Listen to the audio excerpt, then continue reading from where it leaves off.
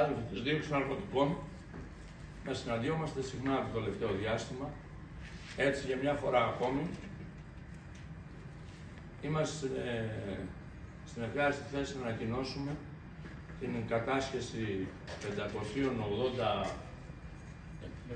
κιλών, 586 σχεδόν κιλών κοκαίνης και αν προσθέσουμε και τα, τα, τα προγενέστερα πλησιάζουμε πλέον σε ένα διάστημα 4-5 μηνών τον τόνο.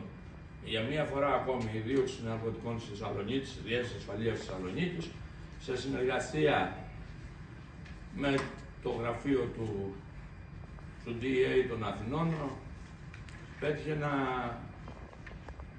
χέριο πλήμα στη διακίνηση των ναρκωτικών τόσο στην ε, πατρίδα μας, στη χώρα μας, όσο και γενικότερα στην Ευρώπη.